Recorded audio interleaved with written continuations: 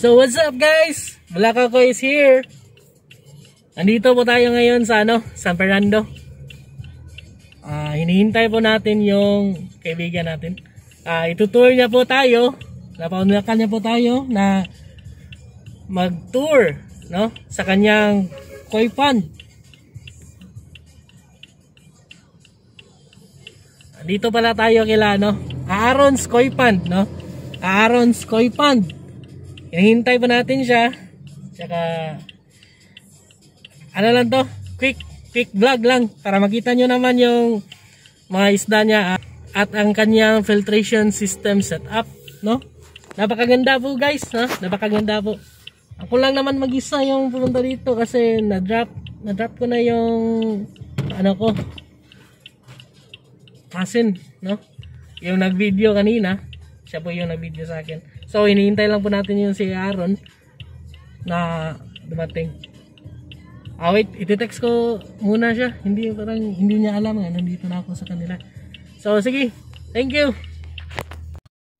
So guys, nandito na tayo ngayon sa ano, Route 45 kila paring Myron.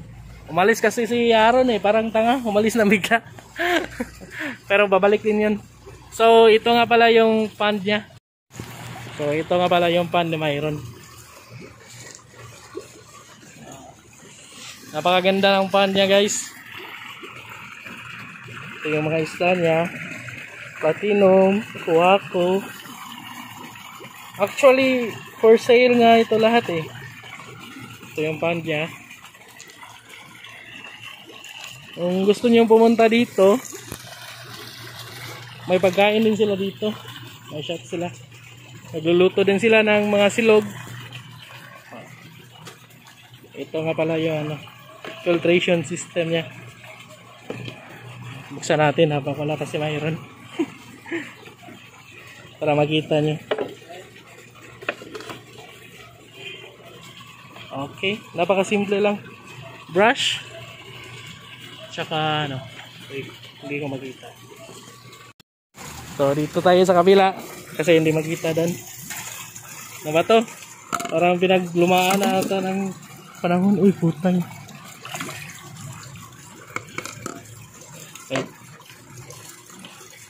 Check natin ha. Hindi natin mabuksan kasi may mga harang eh. So, yung ginamit niya, mechanical as filter brush.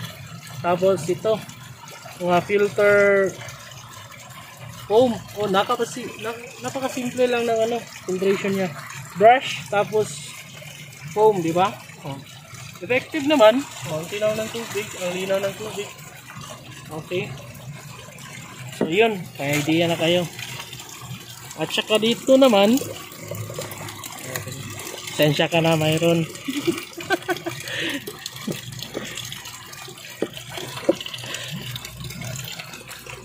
ito yung final filtration system niya. Filter foam. Oh, biofoam biofoam. Biofoam lang yung gamit niya. Tsaka ito naman mga talaba shells di ba? Wala na talaga ano rito. Hindi na niya pinapansin yung pond niya. So yun. From mechanical to bio at saka ito for pH no wala siyang ano for chemical. Okay lang naman. Tapos yung pan niya oh, kita nyo yan. Shade shades lang shade lang. Naulanan din pero okay lang yan. May talaba naman siya. So di ba ang linaw. Ang linaw ng water. Kita nyo doon. Oh.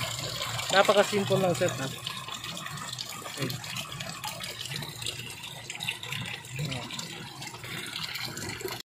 Yan na po yung ano ban niya.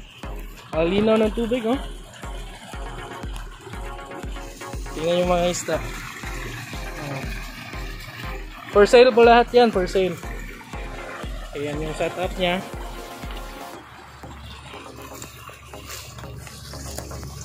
Okay. Balik na po natin.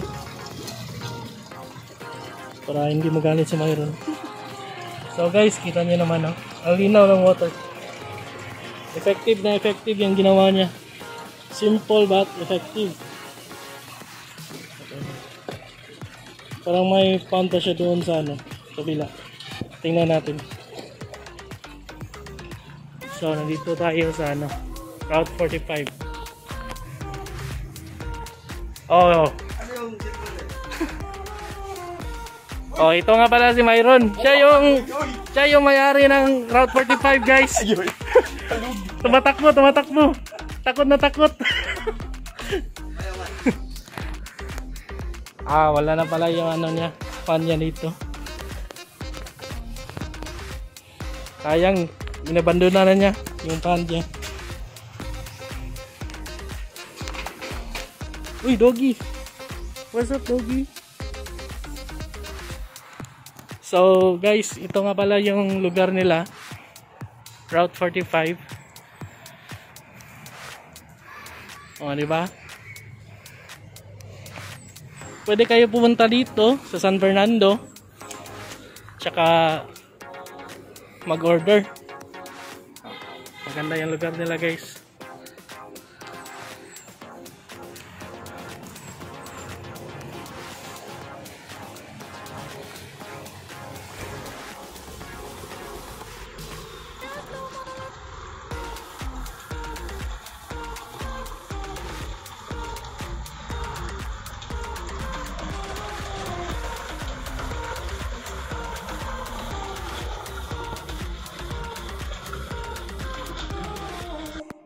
Dumating na pala yung ano, may-ari ng Route 45. Tingnan niyo po, kakarating lang niya. Ito nga pala yung may-ari ng Route 45 guys. Oh. Nanginginig, tumatawa pa, tumatawa. Tatarungin natin kung ano yung sikreto niya. Ano yung mga benta nila dito sa Route 45. Route 45 located at San Fernando, Cebu. Hmm. What's up, what's up? Ah guys, ito na pala yung maaari ng Route 45. before, before. So, sir, ano nga pala yung mga binibenta nyo dito sa Route 45? Meron kaming mga silog rito. So, mga motorista dyan na taga Cebu, ah you must visit here, San Fernando, Cebu. Ah, silog, ano klase po ng silog, sir? Ah, meron kami yung chorizo silog, bacon silog, ah kahit ano pang silog, tapos yung mga specialty namin na ano ba yun? Ah, ribs at saka yung belly na masarap. Yun lang. Ah, so, yung prices, sir, affordable lang po ba? Yes, so you must visit here, San Fernando. You know na, Route 45, y'all. So, alright. Alam nyo na po yung gagawin na kapag napunta kayo dito sa ano, San Fernando, Cebu. Mura lang po yung ano, mga binibenta nila. Tsaka nakakabusog. Isang serving lang. Swak na. So guys, yun lang. See you next vlog.